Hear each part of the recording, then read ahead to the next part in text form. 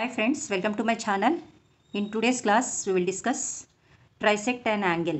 Trisect an angle means dividing the given angle into three equal divisions or three equal parts of the angle.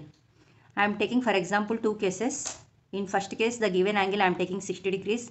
In second case, I am taking the angle is 58 degrees. Now here we have to divide this into three parts. So 60 divided by 3 means 20 degrees. Okay, each part is 20 degrees. Now initially mark this angle, 60 degrees angle. Okay, now by using the scale I did one line here. By using the protractor, this line should coincide with this base line and uh, have 60 degrees here. Okay, this is 60. So I got this point. I joined this point to this point for getting this line. Now this angle is 60 degrees. So by using compass, take any radius. Okay, no need to measure. Just mark the angle like this. Okay, this angle is 60 degrees. Now here our main aim is we need to divide this 60 degrees into three parts. As I told it is each part is 20 degrees. By using this protractor we can mark 20 degrees initially from 0 to 20 initially. Here one point. After that from 20 to 40 20 degrees. First 20 next 20 next 20. We got these two points. Join these two points with the initial point.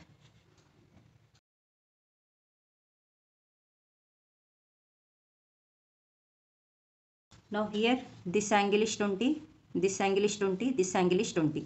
By using the protractor we have marked these three divisions. Now mark the angle.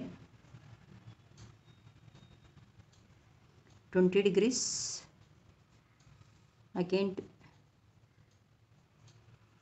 this angle is 20 degrees.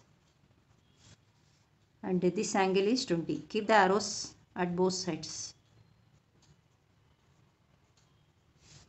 okay so we have divided this angle 60 degrees into three equal divisions. After the first one take the next one. The given angle is 58 degrees. Now we have to trisect this 58 degrees divided by 3 okay how much it is? Let us do with calci. This angle is 19.3 degrees. Is it possible to mark 19.3 degrees by using the protractor here we can see 10 degrees 20 degrees. 19 means this line. Okay before 20 here 19 so between 90 and 20 so this 19.3 will come. Okay we can't exactly mark 19.3 19 we can mark correctly. Okay? For marking this angle we can't use this protractor okay? Initially mark this angle given angle. After that i will show how to mark this angle. Okay, let us take initially do this line baseline initially by using the scale okay here i will do some length line. Here i am marking o initial point. Now mark this given angle 58 by using this protractor. So 10 20 30 40 50 55 this is 58 so this is join this point to this initial point.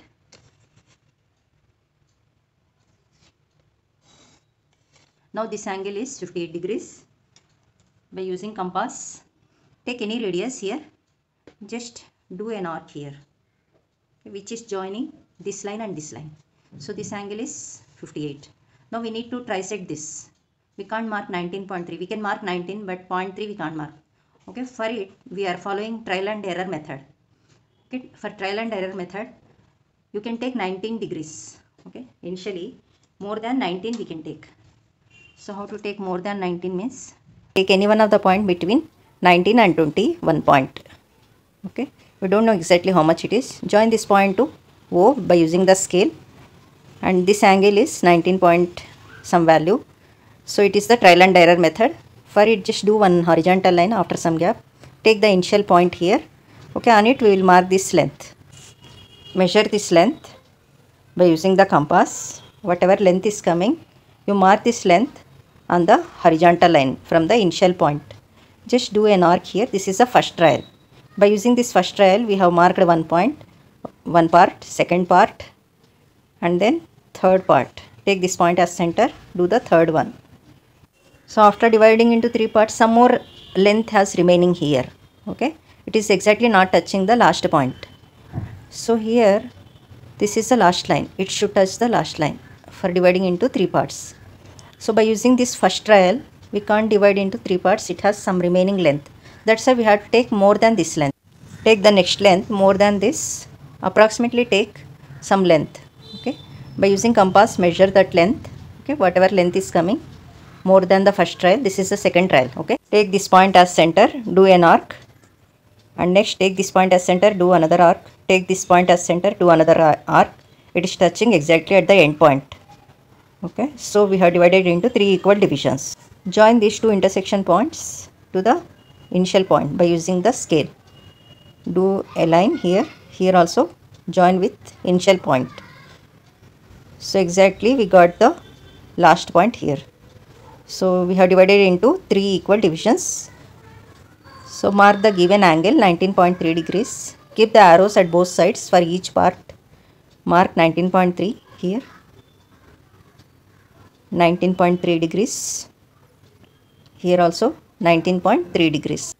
So total angle is 58 degrees. Okay this is the second trial. So in the second trial we got exact values okay with this length. So each angle is 19.3 degrees. So in the first trial here some part of the arc has remaining length okay by using this length. That's why we took some more length for covering that remaining arc okay by using it we did three equal divisions let us assume in second trial also we didn't get three equal divisions. At that time we have to take one more length. Third trial it is called. Take that length and divide into three divisions. Okay equal divisions. Like that we have to try. Mm, that's why this method is called trial and error method. Sometimes we will get in second trial correct value. Sometimes in fourth trial we are getting the correct value. So this trial and error method we are using for marking these angles. Those angles can't measure by using the protractor these are the methods of trisecting an angle by using the protractor as well as by using trial and error method